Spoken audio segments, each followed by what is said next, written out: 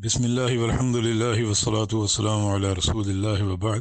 ہمیں یہ اطلاع ملی ہے کہ ہماری گورنمنٹ نے جمعے کے جو اجتماعات ہیں، ان پر پابندی لگا دی ہے۔ اور یہ گورنمنٹ کا فیصلہ ہمارے لیے بالکل واجب القبول ہے۔ اور اس پابندی کو ہمیں بالکل شر صدر سے قبول کرنا چاہیے۔ اور دوست و احباب اپنے گھروں میں ہی رہیں اور گھروں میں نماز پڑھیں۔ جو گورنمنٹ کا اقدام ہے، مستحسن ہے۔ ایک طرف لاک ڈاؤن ہو اور ایک طرف جمعے کی اجازت ہو، تو یہ دونوں متضاد چیزیں ہیں۔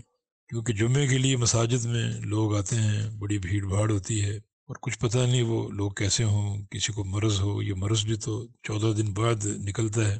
تب تک کیا سے کیا ہو جائے، وہ کس کس سے مل لے اور کہاں کہاں اپنے اثرات چھوڑ دے۔ تو بالکل یہ مستحسن اقدام ہے اور یعنی اپنی ریت کی جان و مال کی حفاظت یہ گورنمنٹ کا فریضہ ہے، تو بالکل ہم اس کی تائید کریں گے اور یہی کہیں گے کہ گھروں سے نہ نکلیں اور گھر کے اندر ہی نماز کا اہتمام کر لیں۔ ہاں مسجد میں اگر لوگ جو رہتے ہیں، وہ اگر جمعے کا اہتمام کرنا چاہیں تو بالکل وہ کر لیں، لیکن جو گھروں سے جائیں گے وہ نہ جائیں اور اپنے گھروں ہی میں نماز پڑھ لیں۔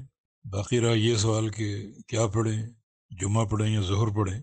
تو اس میں علماء کی دونوں رائے ہیں۔ کچھ جمعہ کے قائل ہیں اور کچھ ظہر کے۔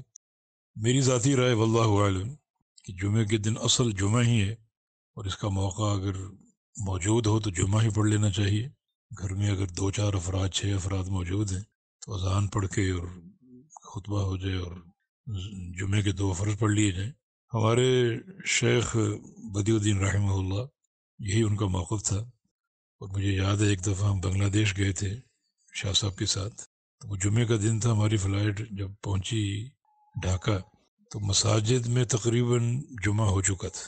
تو ہمیں سیدھا ہوٹل لے گئے۔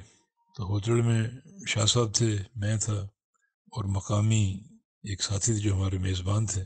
اور غالباً شاہ صاحب کا نواسا وہ بھی ساتھ تھا۔ جی ہاں تو شاہ صاحب نے یعنی اذان کہلوائی ہوٹل کے کمرے میں اور جمعہ کا خطبہ دیا مختصر اور پھر جمعے کی نماز پڑھا دی۔